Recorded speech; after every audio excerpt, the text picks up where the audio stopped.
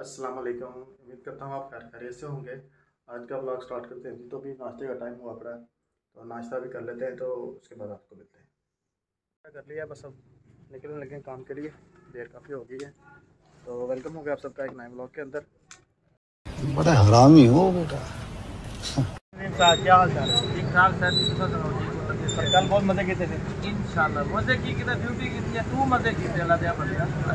दावत शावत खा के दावत खाती है वलीमा खाता हुआ पता नहीं की की खाता हुआ कहते थे ज़्यादा खा लिया थी नहीं यार कल काम किया काम भी तो पता लाल लाल आज इंशाल्लाह एक दोस्त ने पार्टी दी थी उससे जाऊँगी इंशाल्लाह ताला पर काम खाऊंगा उन्हें तो जितनी थी पंद्रह सोलह दिन पहले अच्छा लेकिन बस थोड़े मसले मसाइल थे कि मैं बिजी ਸੀਗਾ ਇਸ ਦੀ ਫਿਰ ਹਾਂ, ਜਾਣ ਨਹੀਂ ਬਾਈ ਕੇ ਦੋਸਤ- ਆਇਆ ਵਾ ਇਹ ਕਹਿੰਦਾ ਯਾਰ ਕੀ ਬਣਿਆ ਕਹਿੰਦਾ ਯਾਰ ਤੁਸੀਂ ਨਹੀਂ ਆਏ ਅੱਜ ਚਲੋ ਸ਼ਾਮ ਨੂੰ ਚਲੋ ਮੈਂ ਕਿਹਾ ਅੱਜ ਸ਼ਾਮ ਦਾ ਡਨ ਕਰ ਲਓ ਅੱਜ ਸ਼ਾਮ ਦਾ ਡਨ ਕਰ तो नदीम भाई के दोस्त हैं उन्होंने दावत कर दी है तो शाम को चलेंगे उधर खाना शाना खाएंगे और आपको सिखाएंगे फिर उधर का माहौल दोपहर का लंच करने आए हैं हम ठीक है मौली साहब हमें खाना खाना खिलाएंगे मौली साहब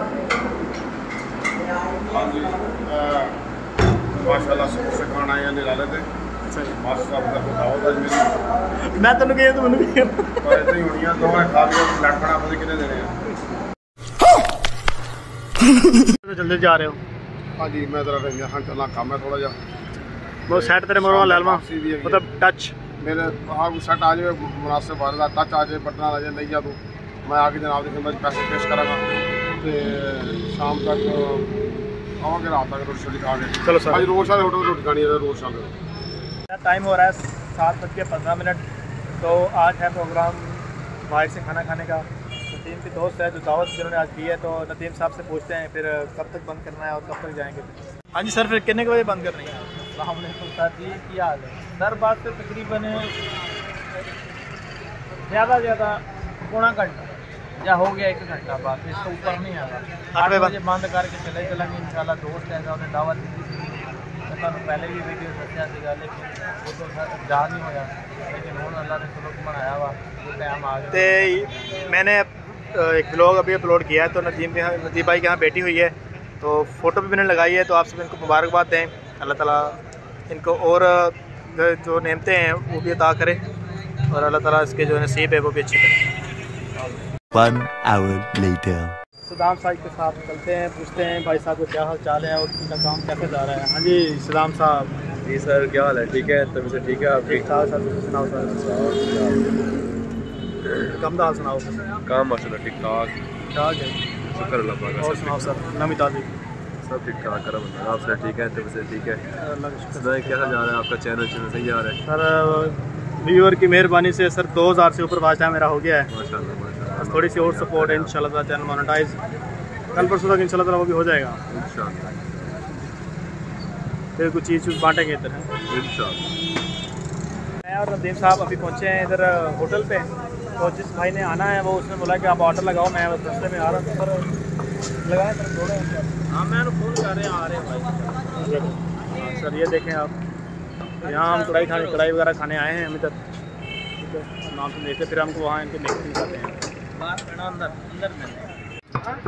ये भाई साहब कढ़ाई बना रहे हैं देखें मैं दिखा देता हूँ।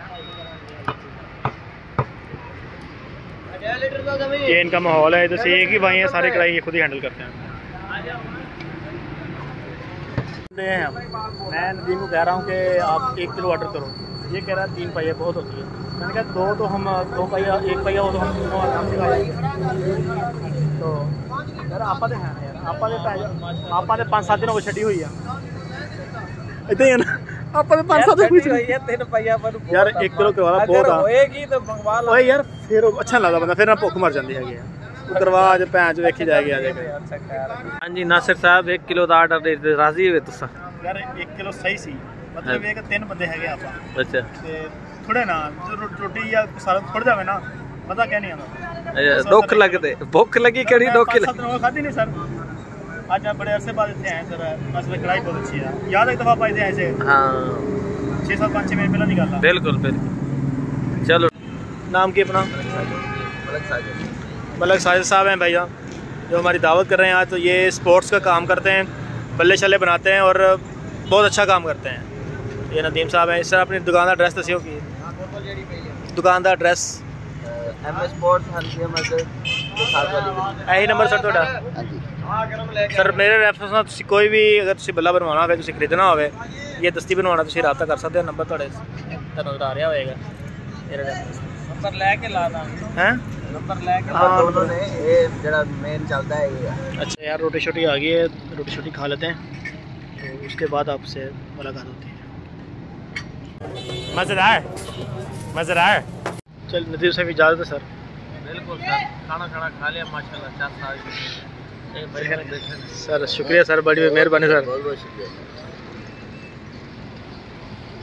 चलो फिर है फिर आप सुनते हैं। ठीक है सर दस गया, सर। मज़ा आया सर, बहुत शुक्रिया सर। ठीक हो गया हम खड़े हैं शैल पंप, रहमान पंप। है पुल से नीचे उतरे तो वहाँ हम खड़े हैं तो बाइक पे ना पेट्रोल ख़त्म हो गया है। तो नदीम पेट्रोल डलवा रहा है। और देखो खड़ा है। पेट्रोल डलवा रहा है तो पेट्रोल डलवा के ना फिर चलते हैं। सर दस बज गए यार, काफ़ी टाइम हो गया आगे से अभी नतीजों की शर्ट गया है तो बस यहाँ ब्लॉक ही करते हैं। एंड अपना बहुत सारा ख्याल रखें। जो हमें याद रखें सुबह मिलेगी नए ब्लॉग के अंदर। और दर्द हो रहा है। अल्लाह हाफिज़।